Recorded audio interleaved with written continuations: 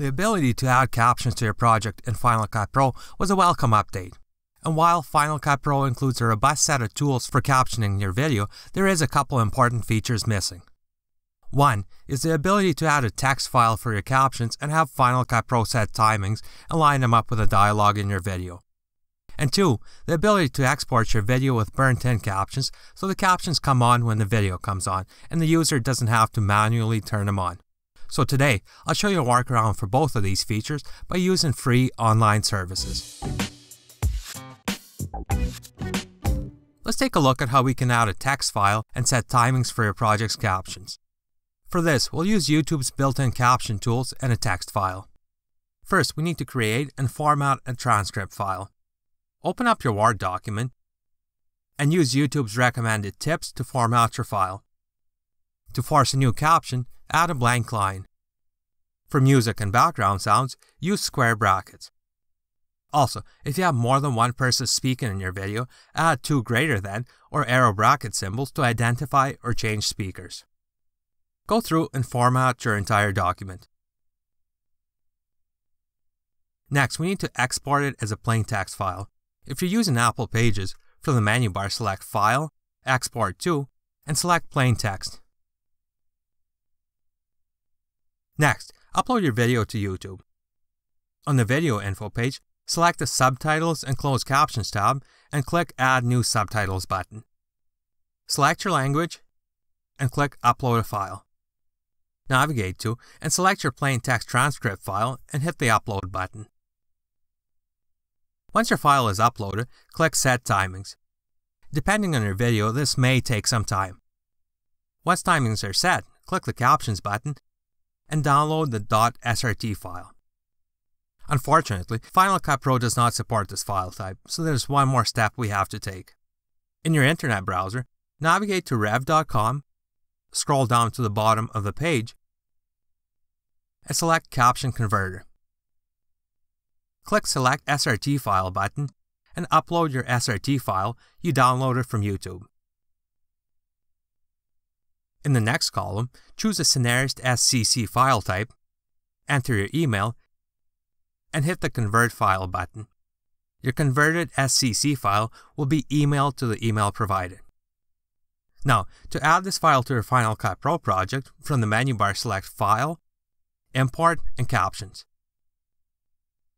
Navigate to your SCC file, select Relative to Timeline button, and hit Import. Your captions will be imported into your timeline and timed to line up with the dialogue in your video. Now, when you export your video project, your viewer will have the option of turning on captions when watching the video. Unfortunately, most players default to captions off. Now, if you're uploading to a scrolling platform such as Facebook or Instagram where the video autoplays but the sound stays off, it may be beneficial to have the captions always be on. Like I mentioned before, this isn't an option of Final Cut Pro, but once again, there is a workaround. Place your playhead at the start of your project and press Option W to add a 3 second gap clip. Next, export your project using a quality format with not much compression. I would recommend Apple ProRes 422 to minimize quality loss. Once done, open your video using QuickTime Player, make sure captions are turned on and your player is set to full screen. Now, before hitting play, from the menu bar select File and New Screen Recording. From the drop-down menu, select Internal Microphone, make sure volume is turned all the way down, and hit the Record button. Click to record full screen and hit the play button to start playing your video. You now have 3 seconds, the length of the gap clip we inserted at the beginning, to move your mouse pointer off screen to make the buttons disappear.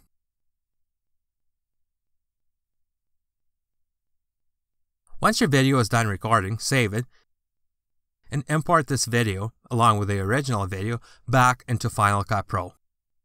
What we're going to do is use the QuickTime recorded movie for video and use the original clip for audio.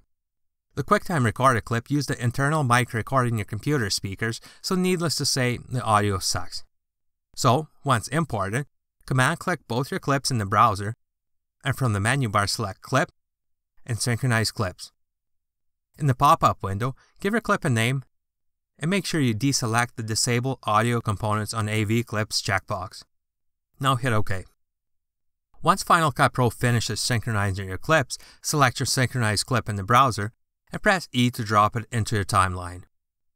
Double click on the synchronized clip to expand it and turn down the volume of your recorded clip. Hit the back button to go back to your timeline. Now, depending on your screen resolution, you may have to crop your recorded clip. And don't forget to ripple trim off the gap clip you inserted at the start of your project. Your video, with burnt in captions, is now ready for export and to be uploaded to a social media platform of your choice. The workarounds for these features aren't ideal, but they will get the job done.